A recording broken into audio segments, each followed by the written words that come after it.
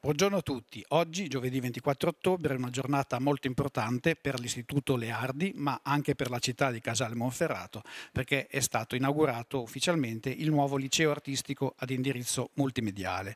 Per me che l'avevo frequentato quando già esisteva a Casale negli anni 80 è un'occasione anche di nostalgia.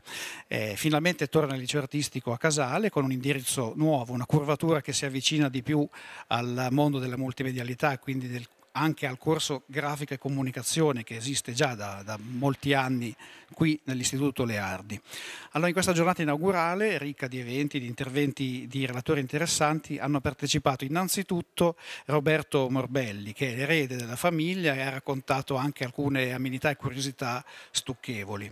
Dopodiché, a parte il saluto delle, delle autorità, del sindaco, il vescovo di Casale, eh, sono intervenuti i relatori veri e propri della, della, mattinata, a cominciare da Aurora Scotti, docente di, già docente di storia dell'architettura presso il Politecnico di Milano, che ha fatto una lezione molto interessante sul rapporto tra Morbelli, la città di Milano e la colma di Rosignano. Dopo abbiamo avuto il piacere di ascoltare il nostro ex collega Gabriele Angelini, storico, oltre ad essere stato docente di storia qui nell'istituto, anche storico di professione, che ha parlato invece della scuola di disegno che è nata nell'istituto Leardi nel 1901. Il titolo del suo intervento era Disegnare a Palazzo Leardi, eh, tracciare linee nel futuro.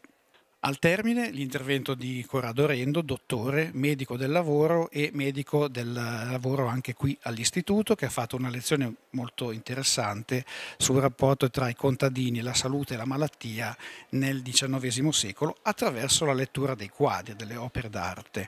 Ha dato modo anche di leggerci delle statistiche interessanti sul rapporto natalità-mortalità tra 1861 e, e, e gli anni di oggi. Al termine dell'intervento del dottor Rendo c'è stato l'intervento del professor Dionigi Roggero, eh, storico eh, di chiara fama, che ha parlato invece eh, dei ricordi e curiosità, una lezione molto divertente anche eh, nell'archivio di, di, Angelo Morbelli.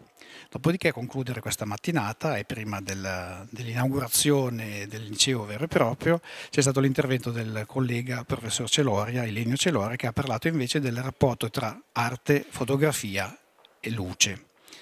È stata una mattinata interessante, emozionante, stimolante e quindi non resta che ringraziare tutti e augurarci che il liceo artistico appena rinato abbia lunga, lunga vita. Grazie a tutti.